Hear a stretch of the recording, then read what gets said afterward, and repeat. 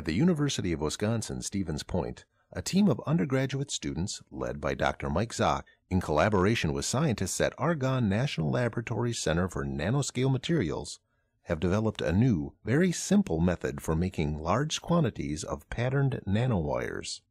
Once the electrode has been created, this method can be performed on an ordinary laboratory benchtop without the need for a cleanroom. The thin patterned electrode is comprised of several layers.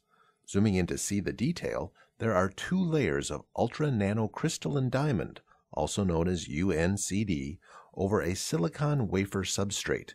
The upper layer is insulating so that any ions from the metal solution that impinge upon the surface can diffuse away, and they will not self-assemble into solid deposits. The underlying layer is made from conductive, nitrogen-incorporated ultra nanocrystalline diamond. Only the edge of this layer and not the top surface are exposed to the solution so that when the potential is applied to the electrode, the metal ions that come in contact with the nanoelectrode layers are reduced. This forms metal wires at the edge of the conductive layer.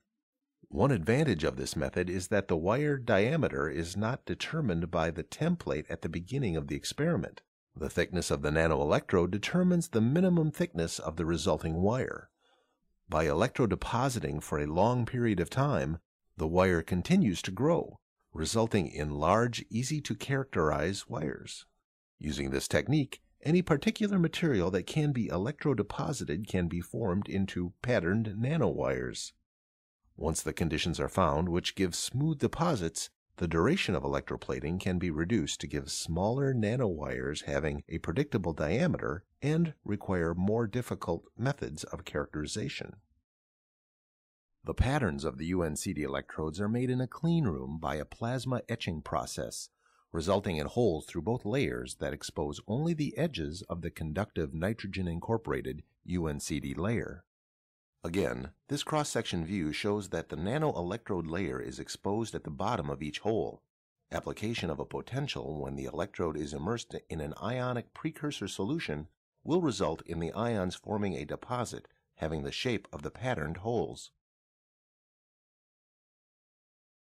A commercial polymer blend that is normally used for cleaning dirt off of delicate optical surfaces is then applied to the surface of the electrode.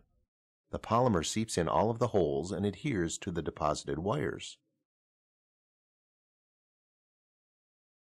Once the solvent from the polymer solution is driven off, the polymer becomes a microscopic handle that allows the wires to be lifted away from the UNCD. The diamond has very low adhesion to most materials, including the polymer and any contamination, so this polymer helps clean the electrode and eliminates the requirement for a cleanroom facility to manufacture engineered nanomaterials. Once the wires have been lifted away from the diamond template, the template is restored to the pristine state, just like when it was originally manufactured in a cleanroom. Duplicate sets of wires can be made in a matter of a few minutes simply by repeating the electrode deposition process.